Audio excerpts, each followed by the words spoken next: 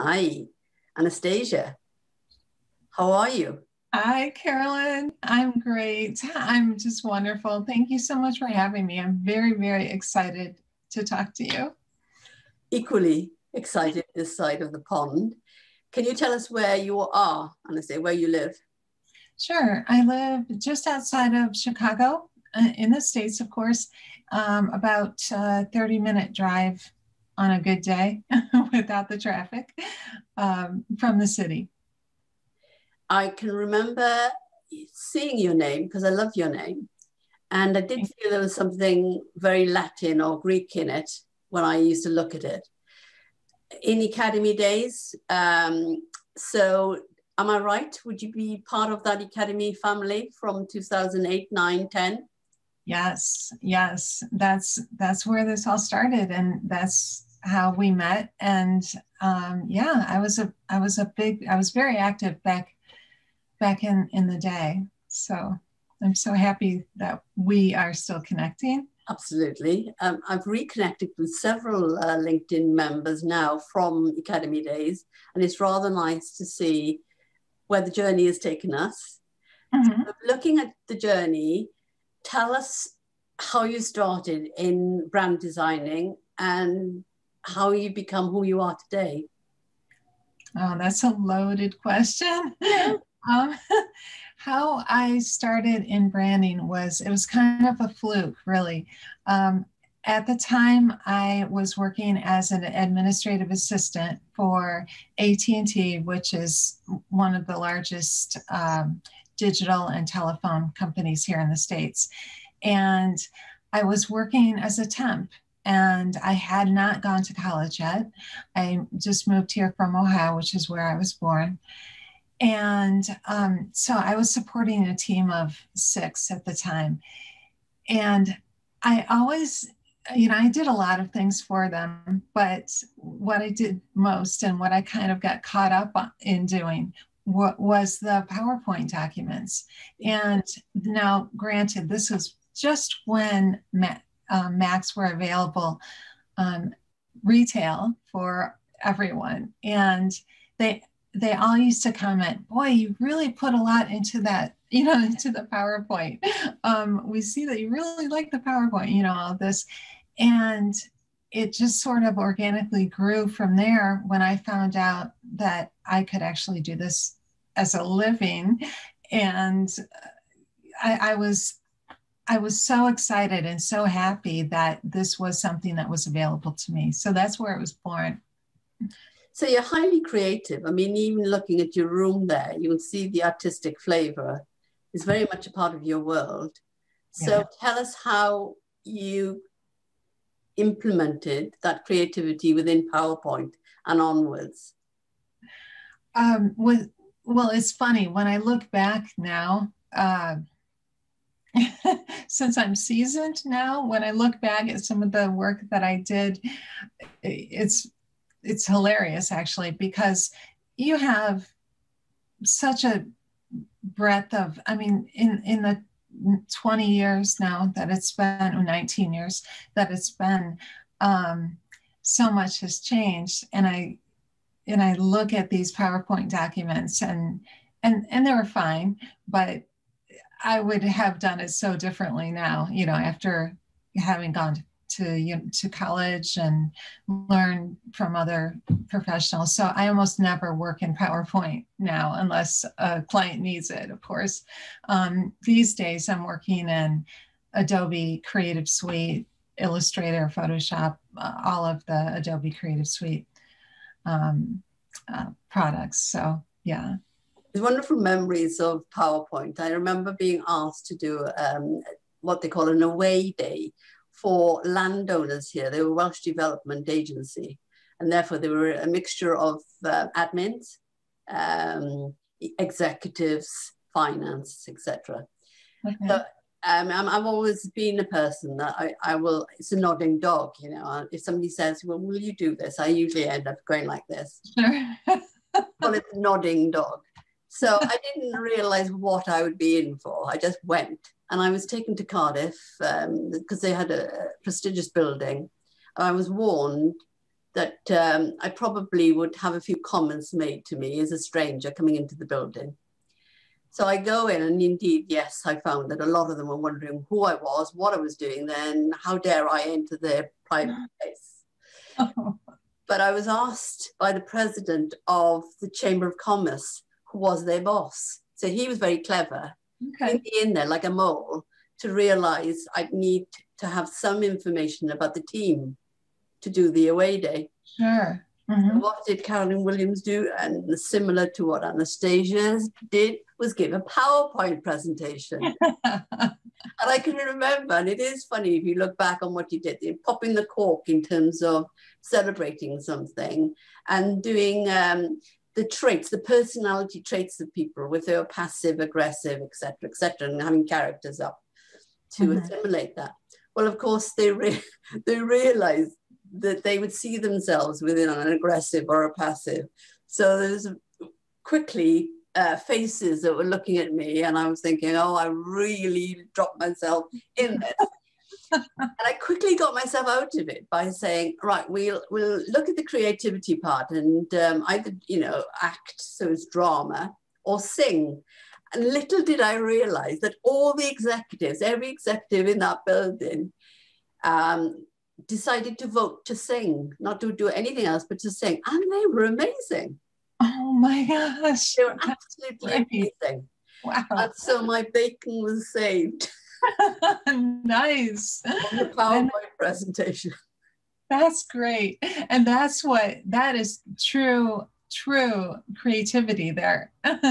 you know, creativity is, as you well know, not always something that you see or draw or you know create it's how you uh, work in certain situations yeah, yeah. Um, that's great pivoting right exactly. So when you look at it now and yes you are right i mean look looking at your work one of the things that drew me to your brand and logo was the rose. It's a beautiful rose. Tell us about the rose. Well, I chose the rose to represent my company. And now, before I had um, something different, which was just a, a triangle, um, because that has a lot of meaning in and of itself, a very strong base, and I'm moving upward. Um, and that's what I chose when I was just starting out.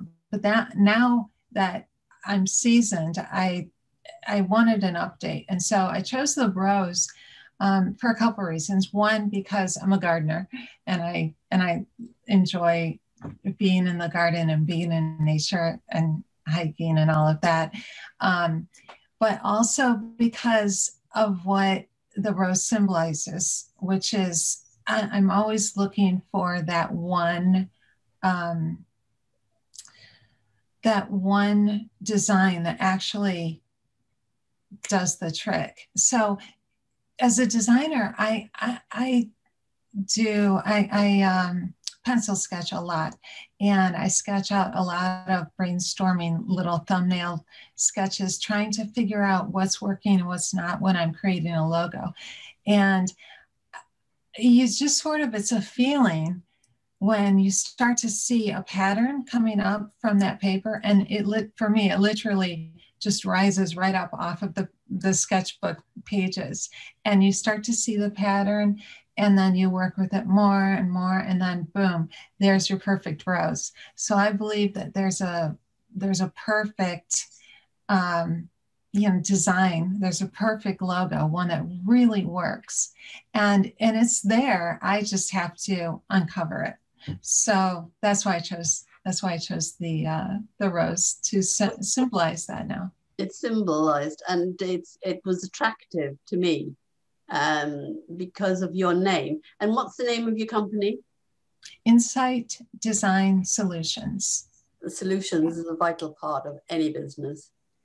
It is. It is, and that's that's what I I work to provide. You know, our communication solutions. So, who are your um, ideal customers? So, my ideal customers right now, there are about four sectors. Um, one is uh, anyone that is manufacturing. So, any gizmo, it doesn't matter, but as long as they're a manufacturer.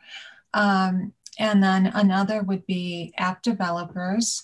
I've I've recently gotten into the the other side of the rainbow, which is coding, and um, so I'm learning. I've learned Xcode and app development, but I'm not strong enough yet. I'm not. Um, I'm not quite there yet. I want to do a lot more review, but UX and UI, I feel really uh, powerful with. So, app developers, those people that I can help with UX, UI, um, manufacturers. Um, let me see who else. Um, oh, NGOs. Um, that's something that I want to do more of. I've done a little bit of in the past, um, but I want to do more for NGOs and nonprofits. Um, and there's anyone else, I can't think of who it would be. So those three, I know there's one more, but I can't think of it. I'll let you know. Your personality and your energy speaks volumes to me. And uh, there is a lovely lady equal to you in terms of the artistic and creative part of what we've discussed on American Real. And I became a mentor on American Real because I got trained in London Real. The founder of American Real, who's living in New York, was called Roger Brooks.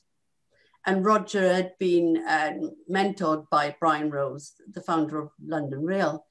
So I was on Facebook, similarly to when we got connected, and Roger was on Facebook saying, Oh, you know, I've seen you in London Real. Would you like to join American Real? And so I did.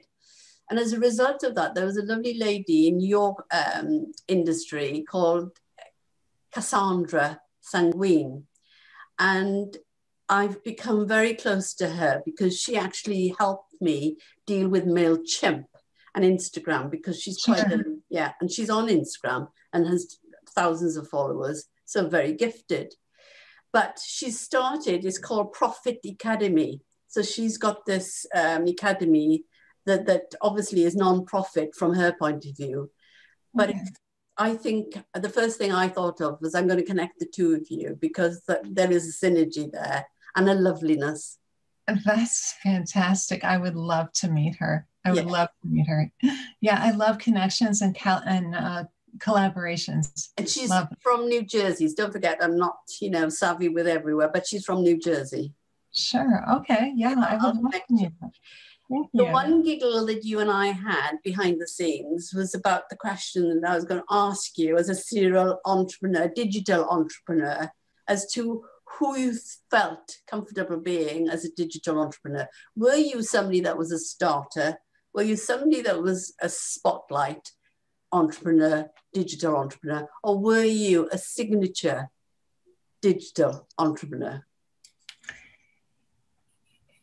Uh, I, uh, if I had to pick one, well, it, it really, it really depends on which portion of it you're speaking of. So I think that in terms of knowing, um, in terms of being on in different um, social media programs. So I'm on Facebook, I'm on Instagram, I'm on LinkedIn, you know, um, so I'm very involved.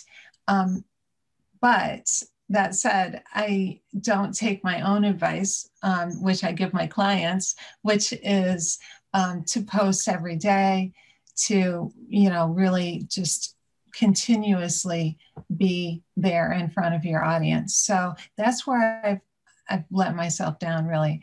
Um, since COVID began, I've pretty much stopped that, which, um, so I have to get back on it. Thank you for reminding me. you got so much to offer that I think COVID um, is an ideal time for you to reach customers and, and the sort that you, you've already described, and people like Cassandra equally, because you're focused on creating your world there is a bigger world out there that needs your solutions. So mm-hmm. there's there's my encouragement to you. Who, would you, who would you say has been your biggest inspiration? Are there one one person or a couple of people that have been quite influential in your career? There, um, there have been within my career, there have been so many people that I couldn't possibly list them. Right. Um, well, let's see.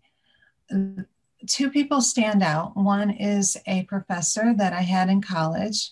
Um, his name is Robert Meyer. He's just wonderful. He's always been so supportive. And so he not only has, you know, taught the trade, taught, um, I think I took um, photography and page layout um, design from him back in college. But he always pushed us to experience things beyond, you know, beyond the actual work. And that was an incredible lesson for me because um, he helped me. Um, I, I, had the opportunity to, well, let me go back a little bit. I was um, at the end, at the last, I think it was the last semester in college, I worked um, as in an internship for Alligator Records, which is um, an American uh, blues record label, and that was more than I, it was so much fun, Carolyn. It was just wonderful because I love music and I love being surrounded by music.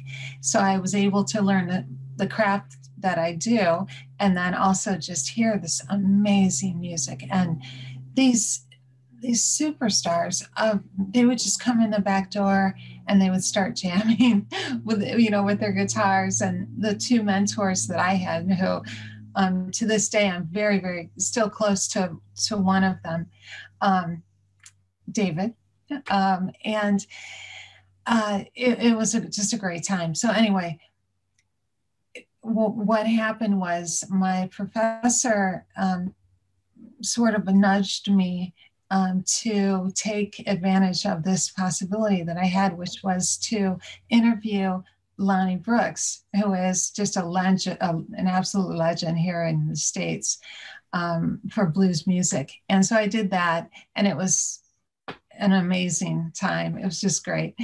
Um, so for me, I love doing I love doing what I do, but I I really truly believe that it's the serendipitous um, kind of meetings that you have outside of the work you know that adds to the work.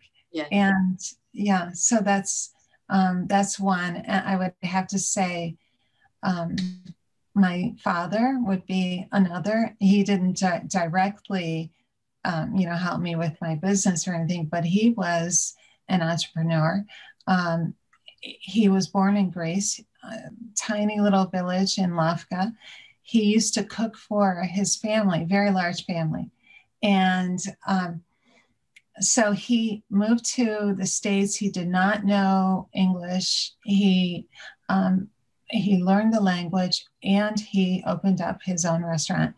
I know it's crazy. A greek that owns a restaurant. But he, he was very successful and um, and he really just he taught me authenticity uh, because that's what he knows. And he was just he didn't want to be American. I mean, he was American, an American Greek citizen, but um, he brought Greece to America, mm-hmm. and um, so he's very authentic. And so that um, feeling of being real, of really being who you are, yeah. Um, is a part of me too. And my mom was also an entrepreneur. She um, she did a catering business. She had a catering business, and really, I just take a I, sort of feed off of a lot of people. So I take a little bit from a lot of wonderful people that I know. Great role modeling and very uh, physical. The lessons that you've explained there are physical ones that you were as a college student and then having the introduction to celebrity. And then that becomes quite a, as you uh, said, it's a serendipity and it's quite spiritual as well because yes. you're actually growing as personal development as a person and what matters to you. So thank you for sharing that. That's that's amazing. It's Friday and Friday's happy day. usually happy day when we're working and everybody sort of comes back and wants to just relax and, and so where would you say is your happy place uh, my happy place is um, without doubt when i'm walking and we have a forest preserve pretty close to us and i lose myself in nature i just that's that's when i truly relax it's when I can really let it just let it all fight, fade away. And so I do uh, walk quite a bit there. And sometimes my husband comes with me and we just walk. Sometimes we don't talk. We just kind of just take it on, take it all in. And it's and it's amazing that the things that you start to see when you stop looking, if that makes sense. Yes. So I love that. That's my happy place. What does your husband do? What's his work?